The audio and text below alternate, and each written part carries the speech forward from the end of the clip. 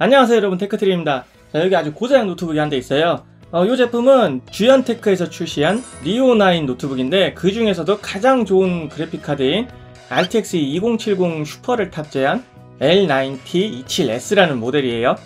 제가 써본 노트북 중에 아, 아니지. 노트북이 아니라 데스크탑을 포함해도 제가 써본 것 중에서는 가장 고사양의 제품이고 뭐 이거보다 더 성능이 좋으려면 CPU는 인텔에서 i9이 있고 그래픽카드로는 엔비디아의 RTX 2080, 2080 슈퍼 정도가 있겠죠. 이 제품은 현재 예판 중이기 때문에 어, 주연테크에서 제품 대여를 받았고 따로 돈은 안 받았어요. 요즘 이런 거 말이 많아서. 뭐 주연테크는 제가 뭔 말을 하던 무슨 리뷰를 하던 터치를 안 하기 때문에 오늘도 객관적인 수치로 보는 리뷰가 나갈 거예요. 자, 지금부터 아주 고성능 gaming 노트북 L9T27S에 대해서 디자인 스펙, 성능, 소리까지 자세히 알아볼 거고 오늘 아시죠? 구독과 좋아요 꾹 눌러주시고 It!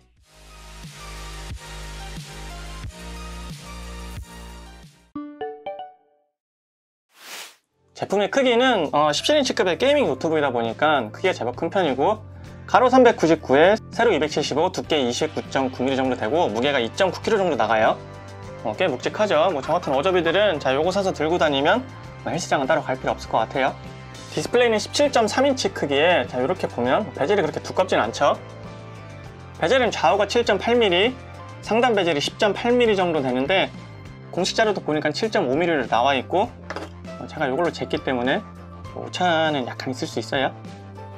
hinge도 gaming 노트북답게 뭐 굉장히 튼튼한 hinge고 최대 개방 각도는 이렇게 한 130도 정도 돼요. 키패드는 10키를 포함한 full배열의 키패드고 15가지 색상의 RGB를 지원하는데 아쉽게도 rainbow 컬러나 RGB 전환 효과 같은 건 지원하지 않아요. 그 아래는 터치패드가 있고 터치패드의 클릭키는 이렇게 따로 있네요. 그리고 gaming 노트북답게 이렇게 어, 공기 흐름을 위한 air hole이 많이 뚫려 있죠. cooling fan 주변으로 이렇게 큰 그릴이 있고 뭐 군데군데 뚫려 있으면서 측면과 뒷부분도 이렇게 cooling fan 옆으로 자, 환기구를 잘 뚫어놨죠.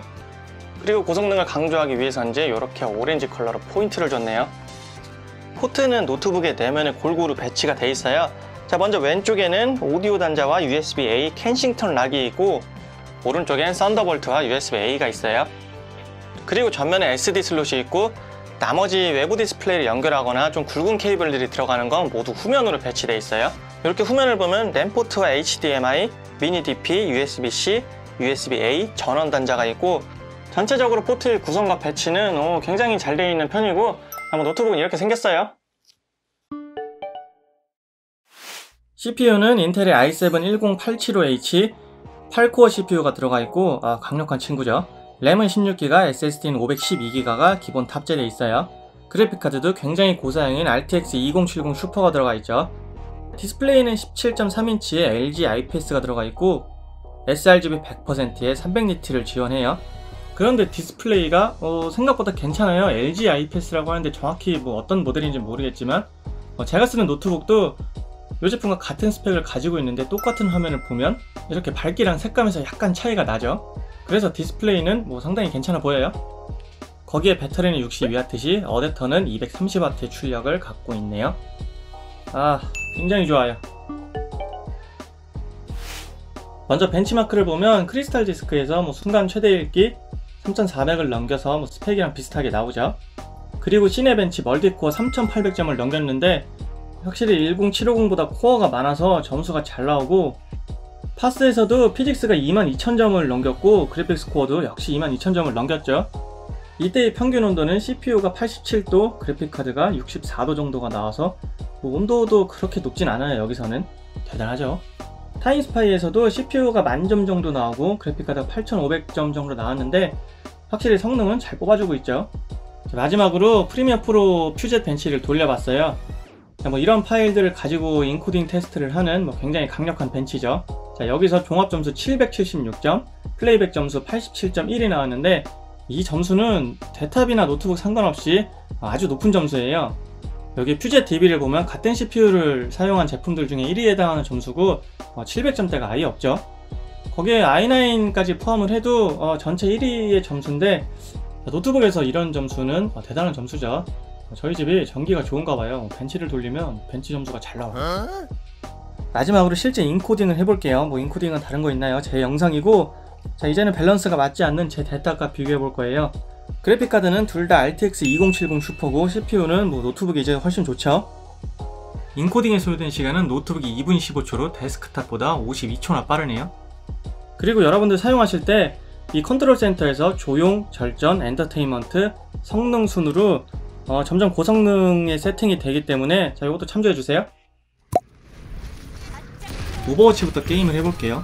최상 옵션에 렌더링 스케일 141%가 자동으로 잡히는데 여기서 113프레임 렌더링 스케일만 100으로 낮추면 187프레임이 나오고 매우 높은 옵션에선 렌더링을 자동으로 놔둬도 150프레임 이상을 뽑아주기 때문에 게임하는데 문제가 없는데 밸런스 패치만 제대로 했으면 좋겠네요. 배틀그라운드 울트라 옵션에서 평균 120프레임이 나왔고 아 한 판 더 했는데 총도 먹기 전에 죽었어요. 레이싱 게임의 꽃이죠. 포르자 호라이즌 자동 매우 높음에서 평균 138프레임이 나오고 수동 최고 옵션에서 113프레임이 나왔어요. 이 게임은 어떤 옵션을 해도 그래픽도 괜찮고 볼거리가 많기 때문에 옵션을 맞춰서 하면 되겠죠. 다음은 디비전2예요. 고사양 게임이죠.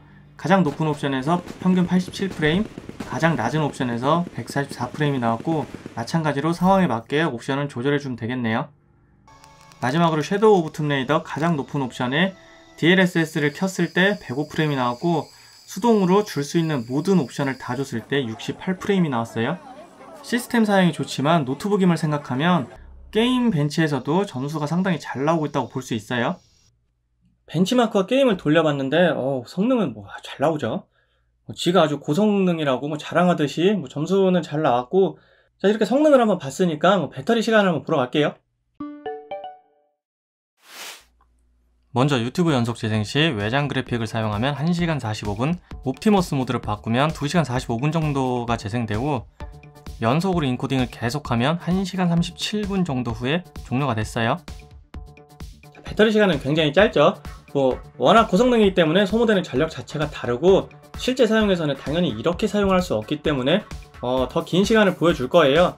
자 그런데 배터리 테스트를 이렇게 하는 이유는 뭐 유튜브를 본다거나 인코딩을 할 때 최소한 2시간 이상은 사용할 수 있다는 걸 보여주기 위해서 이렇게 연속적인 작업으로 테스트를 하는 거예요. 그리고 이 배터리가 탈착식이긴 한데 어, 이렇게 꼈다 뺐다 하는 게 아니고 아예 나사로 고정해 버리네요. 먼저 배터리 모드일 때 유튜브를 틀어놓으면 온도가 40도대로 어, 쿨러가 거의 안 돌아요. 그래서 지금 뭐 소리가 아예 안 들릴 정도고 전원 모드를 바꿔서 유튜브를 틀어보면 약 45dB 그리고 인코딩을 돌려보면 56dB 정도가 나오죠. 이 데시벨 수치는 오차가 있을 거기 때문에 이 수치보다는 자, 대략 이런 온도에서 이런 소리가 난다 이렇게 봐주시면 될 거예요 이번엔 키패드와 스피커 소리를 들어볼 건데 이 키패드는 어 뭐 많이 보신 분들도 있을 거예요. 제가 볼 땐 스트로크랑 키압이 적당히 있어서 뭐 키감은 좋은 편이고 소리 한번 들어볼게요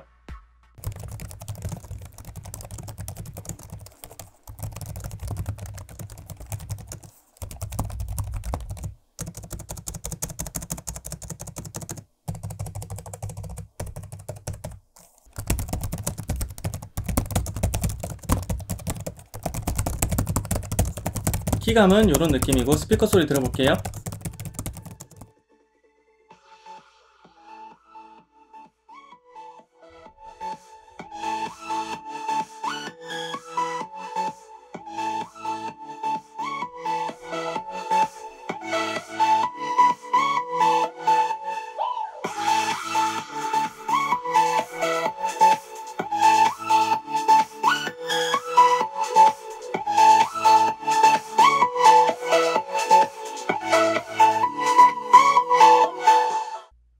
스피커가 3개 있어서 그런지 자, 이 노트북에서 내주는 소리로 봤을 때는 어, 좋은 편이죠.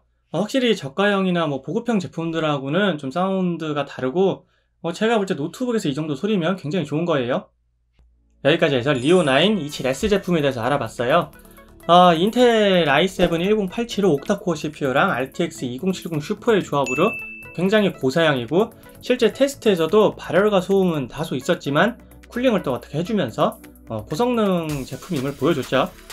어차피 이 제품은 휴대성에 초점을 둔 게 아니고 고성능에 초점을 둔 제품이기 때문에 뭐 집이나 사무실 이런 데서 게임이나 아주 고사양의 작업을 하실 분들에겐 추천을 드리고 이게 단순히 뭐 성능 때문에 추천을 드리는 것보다 이 가성비가 진짜 우주에서 따라올 가성비가 아니에요. 그 최저가로 검색을 해봐도 비슷한 스펙의 이 제품이 최저가고 어, 다른 메이커에서는 이 가격으로는 솔직히 좀 나오기가 어려운 제품이죠. 그래서 아주 고성능을 원하면서 뭐 가성비까지 챙기실 분들에겐 추천을 드리는 제품이고 자, 요 친구는 한 줄로 요약하면 어, 괴물 같은 성능의 동급 최고의 가성비라고 볼 수 있어요. 자, 오늘 리뷰는 여기까지고 제품과 관련해서 궁금한 점이 있으면 댓글로 남겨주세요. 오늘도 좋은 하루 되시고 끝까지 시청해주셔서 감사합니다. 빠이!